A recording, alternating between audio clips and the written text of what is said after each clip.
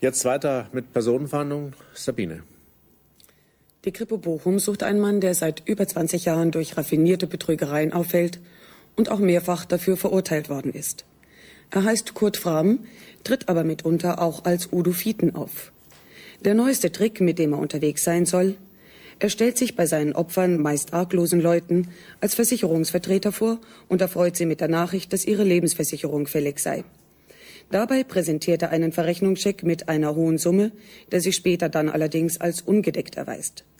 Im Gegenzug verlangt er für die angebliche Versicherungssteuer einen kleinen Barscheck, in der Regel zwischen 100 und 500 Mark, den er auch oft bekommt. Bevor er diesen Barscheck dann einlöst, fälscht er ihn auf höhere Beträge hoch. Kurt Fram, der zeitweise eine Brille trägt, ist 47 Jahre alt, 1,85 groß und kräftig.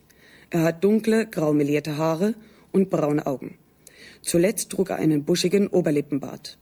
Für Hinweise, die zu seiner Festnahme führen, ist eine Belohnung von 2000 Mark ausgesetzt. Hinweise bitte an die Kripo in Bochum.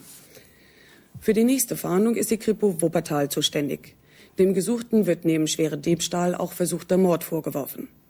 Sein Name Klaus Detlef Wolf. Er soll im Februar 1989 zusammen mit mehreren Komplizen in ein Geschäft in Remscheid eingebrochen sein.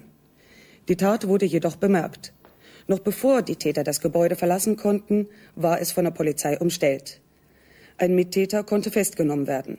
Klaus Detlef Wolf schoss sich, so die Polizei, den Fluchtweg frei, wobei ein Passant und ein Polizeibeamter verletzt wurden. Der Gesuchte ist 41 Jahre alt, 1,81 groß und schlank. Er hat braun-schwarze Haare und graugrüne Augen. Den Bart, den er auf dem linken Foto trägt, soll er sich inzwischen abgenommen haben. Eventuell tat er es sich heute mit einer Brille. Für Hinweise, die zu seiner Festnahme führen, ist eine Belohnung von 3000 Mark ausgesetzt. Zuständig, wie gesagt, die Kripo in Wuppertal.